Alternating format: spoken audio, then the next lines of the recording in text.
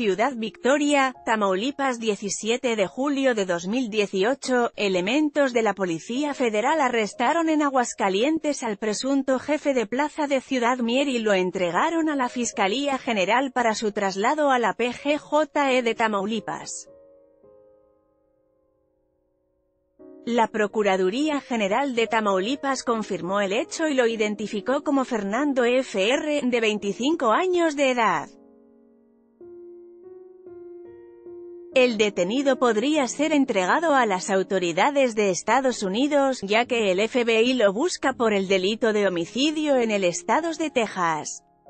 Lee también, extorsionadores llaman a parroquias para exigir dinero Las autoridades de Tamaulipas no confirmaron si el arresto tiene relación con el secuestro del alcalde de Mier, Roberto Gustavo González Hinojosa, ocurrido el 12 de julio y que fue liberado al día siguiente.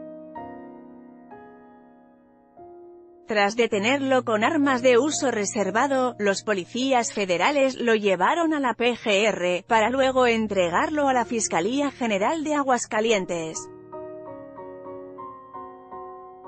Elementos federales informaron la detención de Flores Rodríguez quien es señalado como jefe de plaza del cártel Tamaulipas en Ciudad Mier.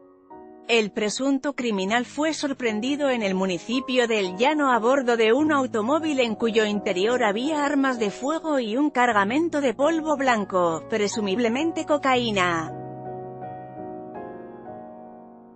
Al ser trasladado a la PGR de Aguascalientes, se tuvo conocimiento que tenía una orden de aprehensión vigente en Tamaulipas desde 2015, se le buscaba por el delito de violación a una menor de edad, motivo por el que se dio a la fuga en ese año a Zacatecas.